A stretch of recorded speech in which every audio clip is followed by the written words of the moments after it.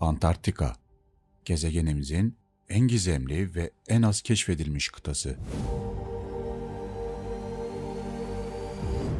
Gizemini koruyan bu devasa buz çölü hakkında hala çok az şey biliniyor.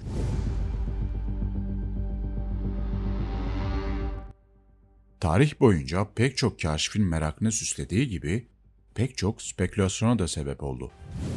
Gizli medeniyetlerden uzaylı teorilerine ve daha birçok gizemi barındıran buzdan bir labirent.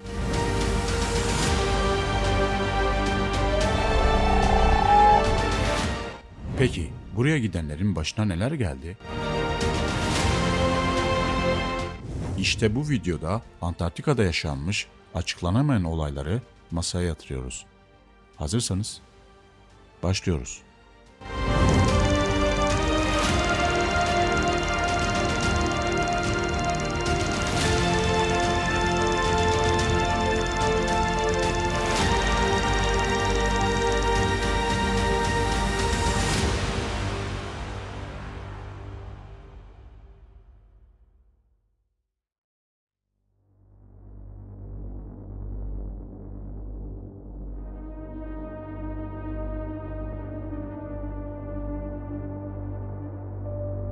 Antarktika Dünyanın en soğuk ve ıssız kıtası.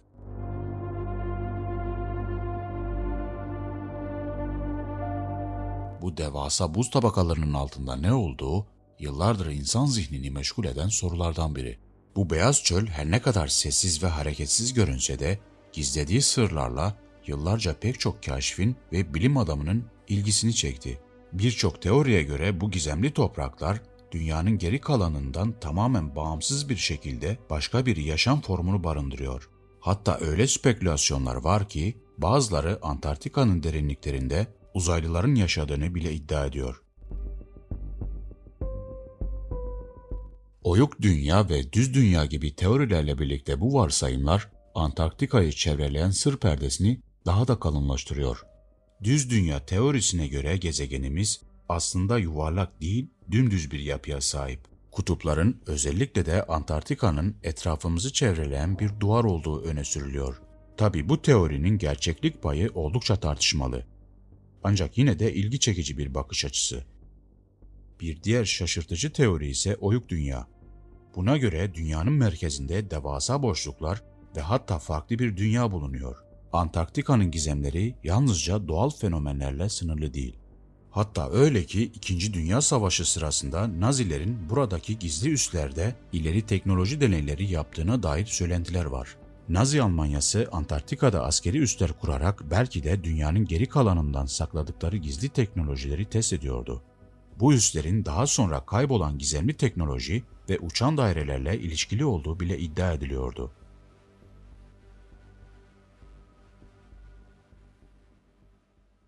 Evet, Antarktika hakkında ortaya atılan iddialar bunlar. Ve şimdi buraya giden kaşiflerin başına neler gelmiş onlara bir göz atalım. Yıl 1845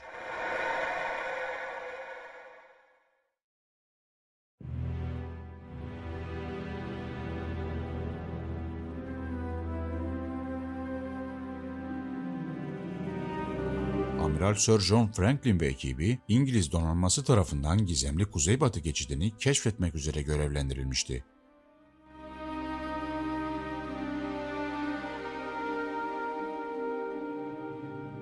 Bu geçit Atlantik ve Pasifik okyanuslarını birbirine bağlayan bir rota olarak kabul ediliyor ve İngilizler için ticari bir hazine olarak görülüyordu. Sir John Franklin ve ekibi İngiliz donanmasına ait iki gemiyle toplamda 129 kişilik bir ekiple yola çıktı. Ancak Kuzey Kutbu'nun acımasız doğası onları hiç hazırlıklı olmadıkları bir savaşa sürükledi.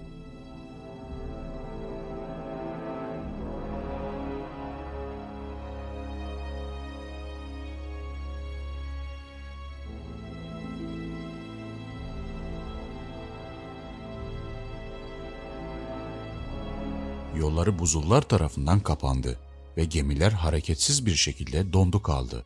Tam 129 kişi haftalarca hatta aylarca donmuş okyanusun ortasında mahsur kaldı.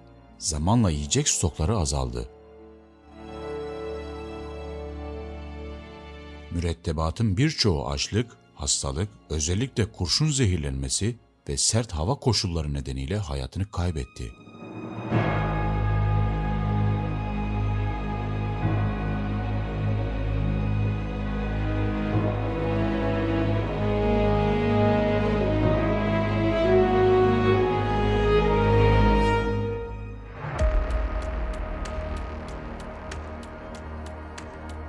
5 yıl sonra bazı kurtarma misyonları ve yerlilerin ifadeleri sayesinde ekip üyelerinin kalıntılarına ulaşılabildi.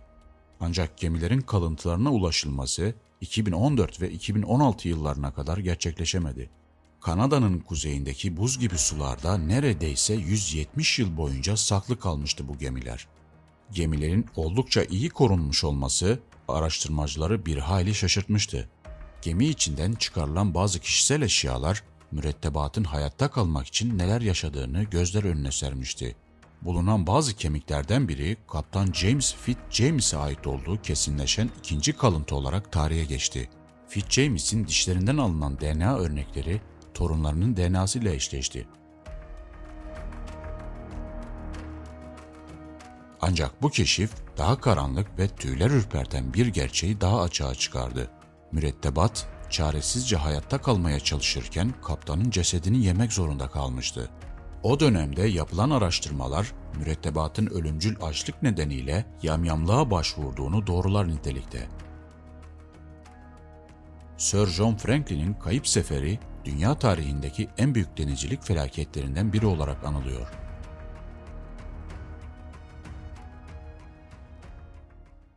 Ve şimdi diğer konuya geçiyoruz.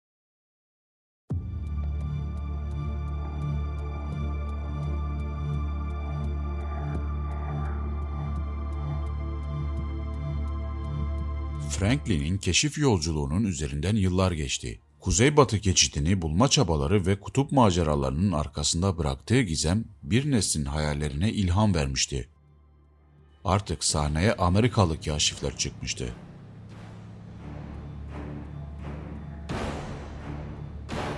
Teknoloji gelişmiş, deniz ve hava ulaşımında büyük ilerlemeler sağlanmıştı. 20. yüzyılın başlarında bu kez gözler yalnızca kuzeye değil, daha da uzaklara, Antarktika'nın soğuk ve bilinmez topraklarına çevrilmişti.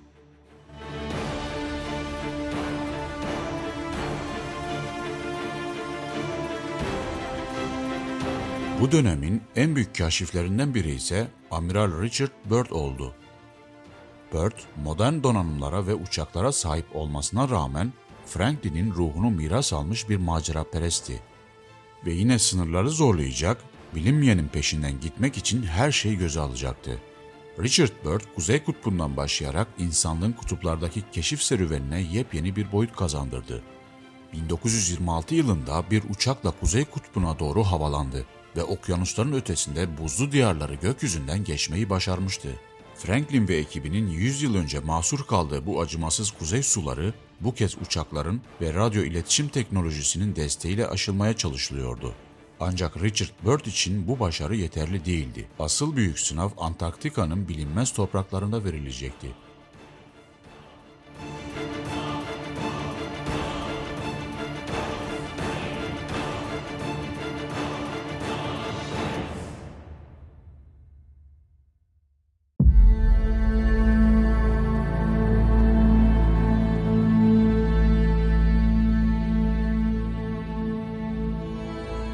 Dünya Savaşı'nın hemen ardından 1946 yılının Ağustos ayında Pentagon vakit kaybetmeden harekete geçti. Nazilerin tüm arşivleri Amerikan ve Sovyet istihbaratının eline geçmişti. Amerikan Deniz Kuvvetleri yüksek atlama koduyla bir operasyon başlattı.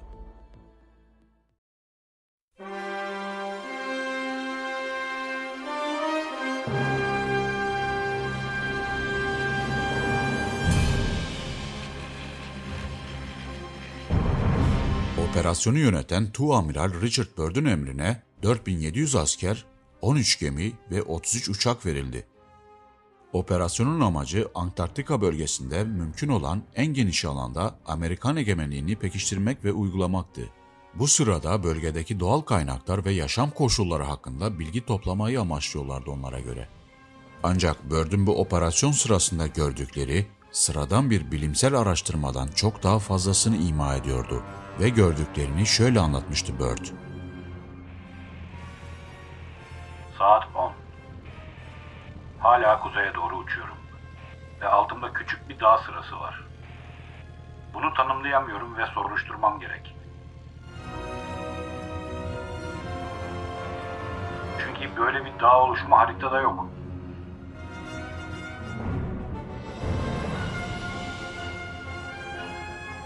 O da ne? Dağların arasında ve tam ortada küçük bir nehir akıyor. Aşağıda yeşil bir vadi. Olamaz. Burada garip ve normal olmayan bir şeyler var. Buz ve kar olmalıydı. Ama ben dağların yamaçlarında yeşil ormanlar görüyorum. Yön bulma araçlarım hala çılgınca dönüyor. Jiroskop hala öne ve arkaya doğru titreşip duruyor. Amiral Byrd uçuş esnasında mamut gördüğünü iddia ediyordu. Oysa mamutlar binlerce yıl önce nesli tükenmişti.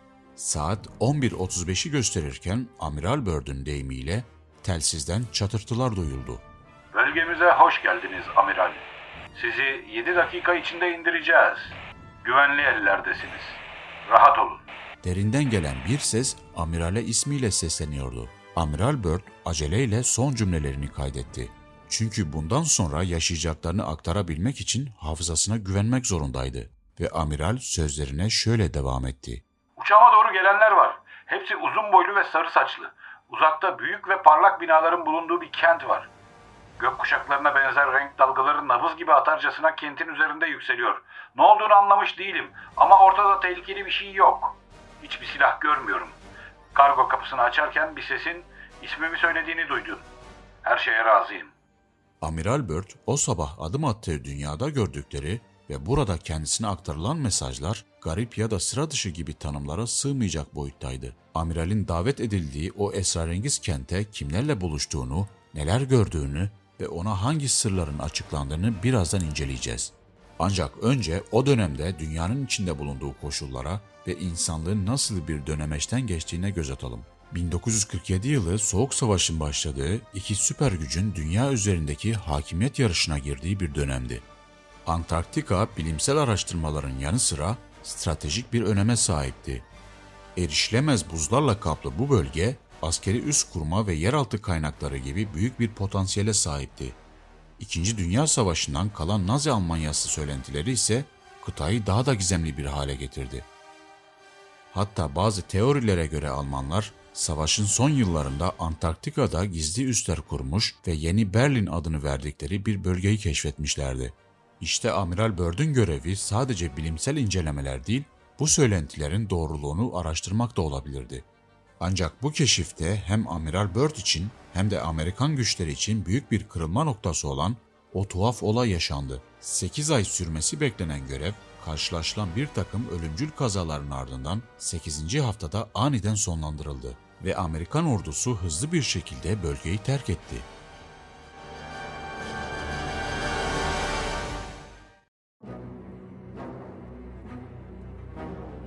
Bir uçak, iki de helikopterin düştüğü kazalarda ABD ordusu resmi olarak 3 kişinin öldüğünü açıkladı. Ancak Sovyetler ABD'nin kayıplarının çok daha ağır olduğunu iddia etmişti. Peki bölgede hiçbir düşman gücü yokken ABD ordusu kiminle savaşıyordu? İşte bundan sonrası Sovyetlerin vahim iddiaları karşımıza çıkıyor. Sovyetler bu kazaların aslında kaza değil, bilinmedik bir düşmanın ABD donanmasına saldırması sonucu olduğunu ve bölgedeki birliklerin bu saldırılar yüzünden apar topar geri çekilmek zorunda kaldıklarını söylüyordu. Sovyet gizli servisi ABD donanmasının içine yerleştirdiği ajanlardan öğrendikleri bilgilerle operasyonun asıl amacının Antarktika'da saklı olduğu iddia edilen gizli bir Nazi üstünü bulmak ve yok etmek olduğunu Stalin'e verdikleri raporlarda da dile getirmişlerdi. ABD donanmasının bu derece büyük bir kuvvetle ıssız bir bölgeye gitmesi de normal bir keşif ya da bilimsel bir çalışmanın ötesinde bir amaçları olduğunu gösteriyordu. Bazılarına göre de Operation High Jump yani yüksek atlama operasyonu ABD'yi bazı uçan cisimlerden korumak için yapılmış bir harekat olduğu iddiasında bulunmuştu. Ve şimdi gelelim Amiral Byrd'ün Antarktika'da neler gördüğüne. Amiral Byrd'ün raporlarında yer aldığı üzere bu gizemli operasyon sırasında karşılaştığı varlıklar kendilerini Arianni olarak tanıtmıştı. Bu ırk, kutbun altındaki geniş ve saklı bir dünyada yaşıyordu. Ariani temsilcileri son derece gelişmiş bir medeniyete sahipti ve teknoloji düzeyleri insanlıkla kıyaslanamayacak kadar ileriydi. Onlar savaşın ve insanlığın yıkıcı eğilimlerinden büyük endişe duyduklarını da ifade etmişlerdi. Özellikle İkinci Dünya Savaşı sırasında Hiroşima ve Nagasaki'ye atılan atom bombaları bu barış yanlısı varlıkları insanlığın geleceği konusunda harekete geçmeye zorlamıştı.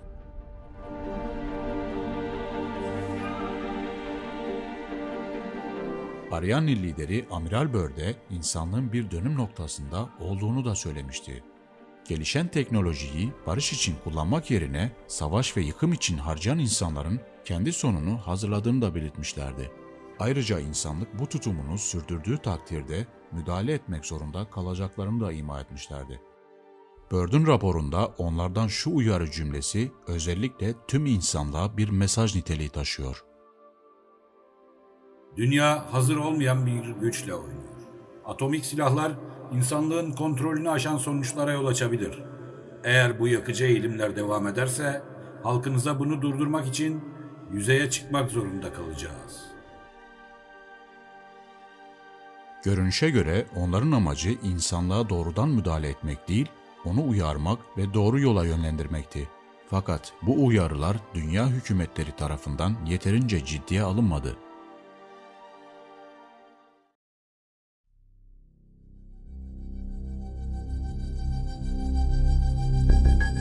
Aradan yıllar geçti ve Sovyetlerin iddialarını daha da güçlendiren bir olay da 2015'te yaşandı. Linda Moulton Howe, UFO ve dünya dışı yaşam konularındaki araştırmalarıyla tanınan bir gazeteci ve aynı zamanda bir belgesel yapımcısı. Antarktika'da meydana gelen olağanüstü bir olayla ilgili ilginç bir e-posta almıştı.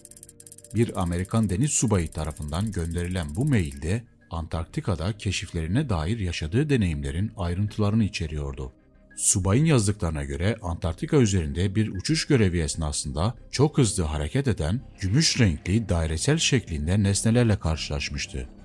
Linda Moulton bu e-postayı aldıktan sonra subayın deneyimlerini ve gözlemlerini daha geniş bir kitleyle paylaşarak Antarktika'daki gizemlerin daha fazla araştırılmasını sağladı.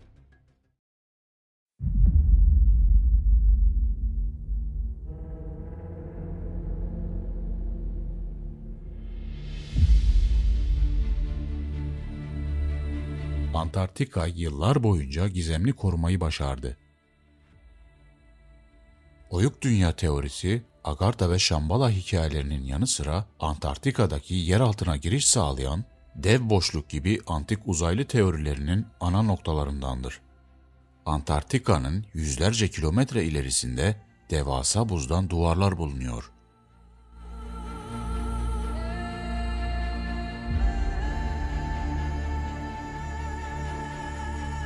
Duvarların üstünden erişilemeyen bölge ise tam bir sır perdesi.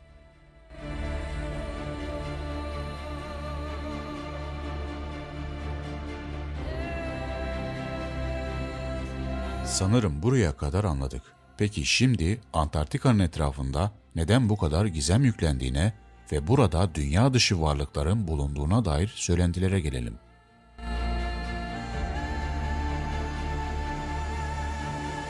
Antarktika, dünya üzerindeki bazı en değerli madenleri içermekte. Amerika Birleşik Devletleri kendini süper güç olarak tanıtan bir ülke olarak bu kaynakların başka güçler tarafından keşfedilip kullanmasını engellemek için tarih boyunca çeşitli hikayeler uydurmuş olabilir.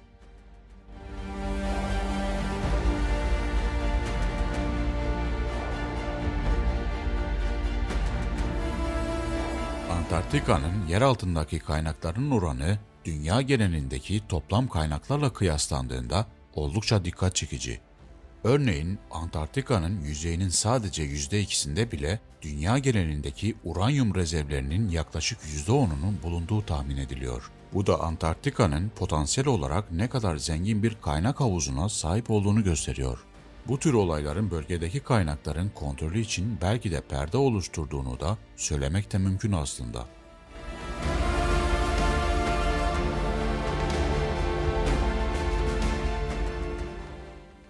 Ya da gerçekten bizden saklanan bir şeyler vardır. Ne dersiniz? Yeni bir videoda görüşmek üzere. Hoşçakalın.